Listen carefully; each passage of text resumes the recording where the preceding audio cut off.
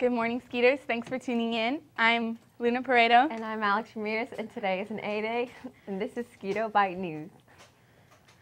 This week's spirit theme is Skeeters are All Stars. Wear your favorite jersey to school on Thursday to support the Skeeters. They will play the Richardson Eagles at 7 p.m. at Hanby Stadium. A big congratulations to both the boys and girls cross country teams for their amazing showing at the Region 2 Championship meeting. Meet. The boys finished fifth in the region, and Eric Villagrana finished ninth individually, which qualifies him to advance to the state championship meet on November 7th in Round Rock. Congratulations to all of our Skeeter runners on a record-breaking season. Tell, tell them that the, uh, the uh, audio on the, the speakers is not up, so they might need to turn their TVs up. Also, please turn your TVs up because the audio on the speakers is not on. Okay. Attention seniors, have you completed your application for college? No treat until you complete is taking place all week. Pick up your treat during lunch for, from Miss S or Miss Rose if you have completed a college application. If you have any questions about applications or need help completing them, come see them. UIL journalism will not meet this Thursday. UIL journalism practice is canceled this week. See you next week. The first UIL Ready Writing and Spelling will be next Thursday, November 3rd until 4:45 p.m. This is a change from the original date. If you have questions about the meeting or the team, see Miss Vansicle in room A18. Attention skiers who attended the UIL Academics kickoff last week. Don't forget to fill out your information form and return it to Mr. Taylor in P12 or ask the front office to place it in his mailbox. Practices are starting soon or have already begun, and we need to locate you. If you weren't able to attend and are still interested, see Mr. T in P12. This week, October 27th through October 30th, we will observe Red Ribbon Week. Red Ribbon Week is nationally recognized and celebrated, helping to preserve the memory of Spe- Special Agent Enrique Kiki Camarena, who gave his life in the fight against drug trafficking and drug abuse. Skeeters are proud to be drug free. Join us this week in acknowledging this effort. Immediately following announcements today, you will view a brief video about Red Ribbon Week. Your 2A teachers will hand out a pledge card and you will sign it. Signed pledge cards will be displayed in the cafeteria all week. Continue showing your support for Red Ribbon Re- Week by wearing maroon on Thursday, October 29th, as we maroon out drugs. For Red Ribbon Week, we will maroon out on Thursday. Be sure to wear your maroon shirt to show that MHS is drug free. Don't be the only one not to wear maroon. As the cold weather months approach, this is a reminder about acceptable dress code items. Hoodies must either be a solid color, any college with official logo, or MHS. Any other item not meeting these guidelines will be subject to being taken up by an administrator. Please also remember that MISD does not allow for denim items to be worn. This includes denim jackets and shirts. At the request of many students, MHS Booster Club has more of the maroon Texas Skeeter shirts available for you. You can purchase your shirts for $12 from Miss Williams in S Hall or at the next Mesquite home game. No more orders for these shirts will be taken, so get them while they last. Culinary Arts will be taking orders for club shirts. They are $10 for small, medium, large, and extra large. For every size up, you will need an additional dollar. Place orders with Chef Sepulveda in M16 or during lunches next week. Money will be due when you order. Cutoff date for orders is November 5th. And remember, club shirts may be worn every Friday. Those girls interested in trying out for the girls soccer team but not currently involved on the soccer off season need to plan on attending an informational meeting on Thursday, October 29th. That's this Thursday. There will be two meetings, one at 8 a.m. and one at 4 p.m. Both will be in K4. You must attend one of the meetings in order to be allowed to try out. Please see Coach Webb or Coach Belt if you have any questions. It is that time again to take the ASVAB test. If you are interested in going to military or just want to find out if you're naturally good at it, please sign up to take the ASVAB test. The test will be November 5th, 2015 in the Mesquite Library. Testing will begin at 9 a.m. You will have three hours to test. You can sign up in the front counter in the Counseling Center. There will be computer available for you to put your name, grade level, and student ID. For further information, please stop by the Counseling Center and speak to Miss White. Exciting things are happening in the Swarm Press. Go to www.theswarmpress.com to read the latest news on campus and in your community.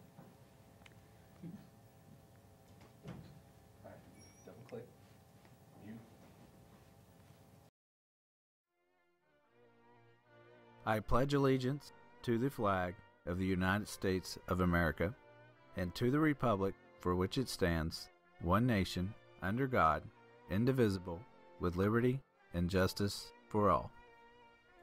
And now the pledge to the Texas flag. Honor the Texas flag.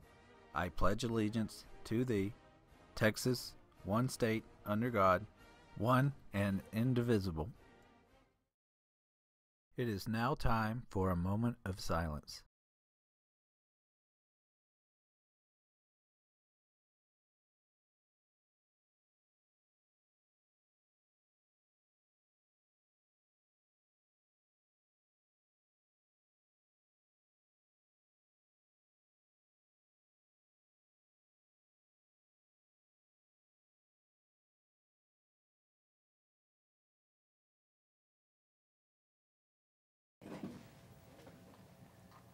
If you missed any of us today, I'm sorry. Now we will be showing you a Red Ribbon Week video.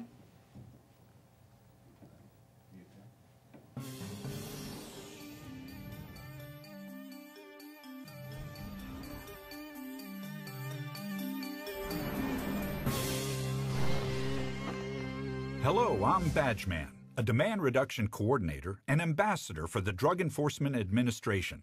I'm reporting for DEA Today on DEA's Red Ribbon campaign, why we celebrate it and how.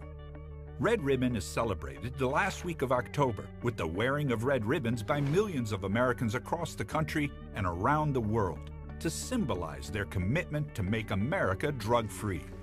Let's take a look at how Red Ribbon Week began. Like many hugely positive things, Red Ribbon Week grew out of something profoundly negative the savage murder of Enrique Kiki Camarena, a Drug Enforcement Administration special agent. On February 7, 1985, life forever changed for the Camarena family. Enrique Kiki Camarena Salazar, loving husband, father, son, and brother, decorated Marine, police officer, and special agent, had been kidnapped by drug dealers, never to be seen alive again. He was taken to a house not too far away from the consulate where he was tortured. He was kept alive by injection so he could relay more information about what he knew about the traffickers. And after a few days of torture, he was killed. For his kidnappers, the story was to end there.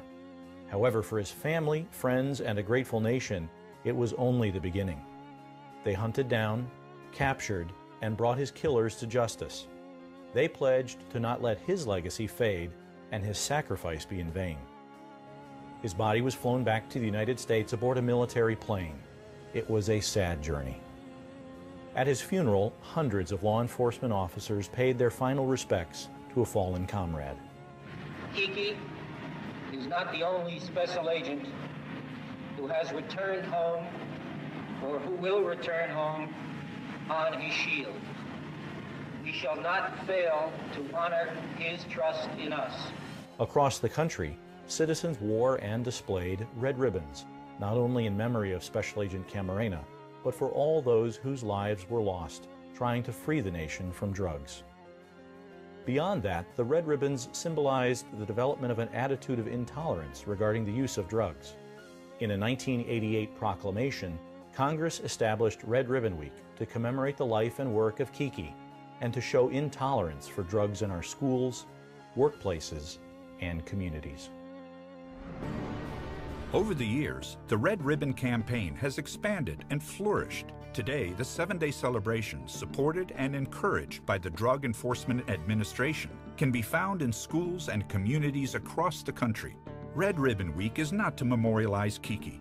Instead, it is to commemorate his death by pledging to be drug free.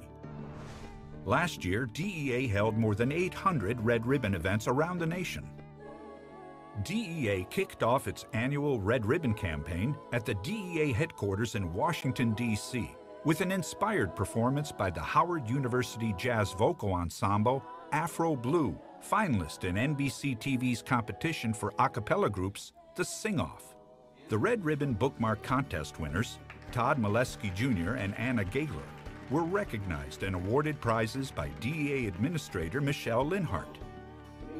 The DEA Community Drug Prevention Award was presented to the cadets of the Civil Air Patrol Composite Squadron, a volunteer organization working to address local drug and crime problems in their community.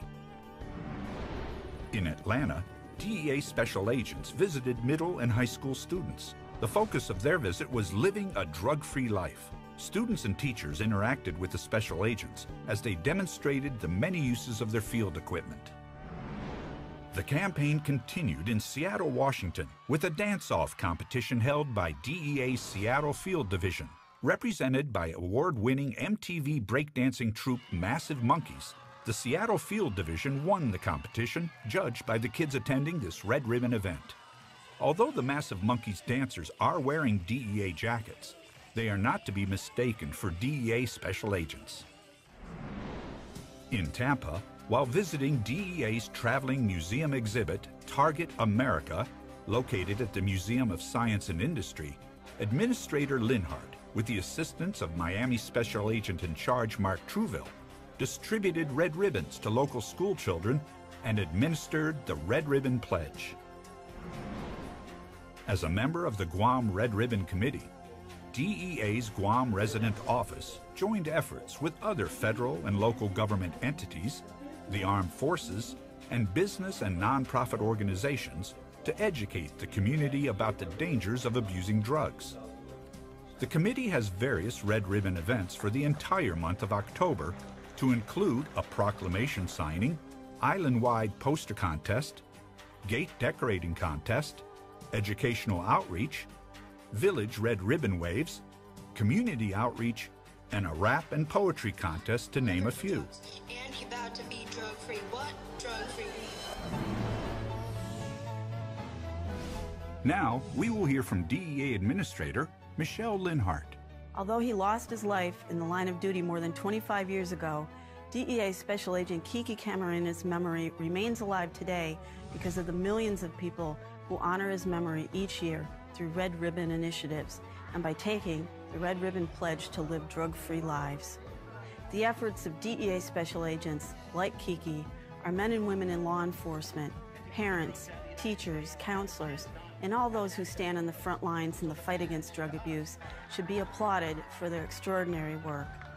Protecting our citizens, especially our children, from the tragedies of drug abuse is what Red Ribbon Week is all about. There is no better way to remember Kiki than to recommit ourselves to the drug-free message of the Red Ribbon campaign. Please join me in making the pledge and remembering those who, like Kiki, have made the ultimate sacrifice to keep our country safe from drugs. As you can see, Red Ribbon isn't about being silent. It is about acknowledging the threat that drugs pose to every community and recognizing that each of us can make a commitment to make ourselves and our communities better places to live. So let's all take the Red Ribbon Pledge and do our part. This year, let's all renew our commitment to stand up, take action, and carry on Kiki's legacy. It's up to us.